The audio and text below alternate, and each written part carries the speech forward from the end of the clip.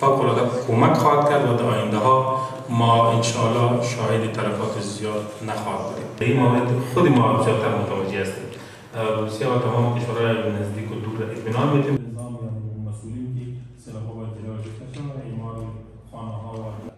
دې مورد ته معلوم ده چې امریکا سره په دې مورد بحث سره بوخت دي دا تفاهم او سره حالت بدل کړ او دا ته نجات او امریکایان د لوی جګړې نه خلاص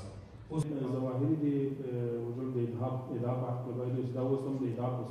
حد کې پاتې تحقیقات روان دي نتیجه تر اوسه نه ده څرګنده شوې هلته جسد هم نه ترلاسه شوی ځکه کوم توغندي چې لګېدلی کوم شی هدف راوستی هغه ټول له منځه تللی هغه هدف نو کوم شی یې لاسته نه لرل. د بې پیلوټه الوتکو ګرځېدل چې کله کله کېږي او تقریب ته دا د امریکایي الوتکې دي